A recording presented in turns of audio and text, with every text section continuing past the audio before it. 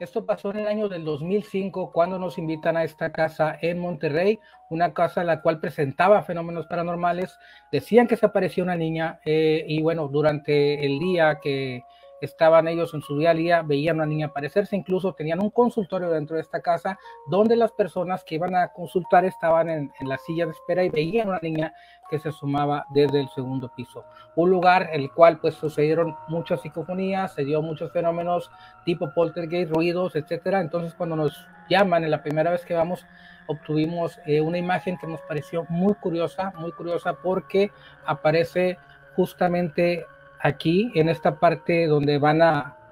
lograr ver al lado de la puerta hacia la derecha la puerta del closet. Para que tengan el contexto en esa puerta del closet es donde se logra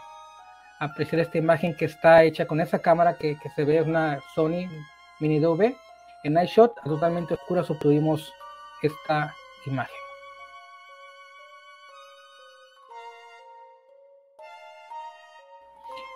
Aquí pueden ver, pues bueno, de alguna manera pueden ver, esa es la puerta que les digo del closet, pueden ver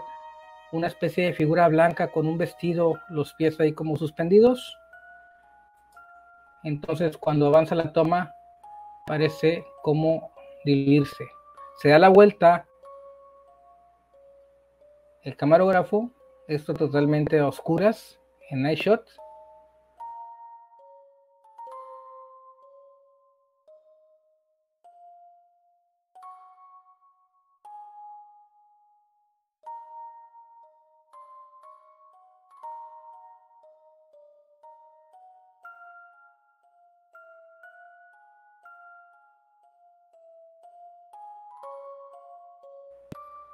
Ahí esa luz que se ve es un espejo que rebota el infrarrojo del night shot, se da toda la vuelta y cuando se logra dar la vuelta, de nuevo aparece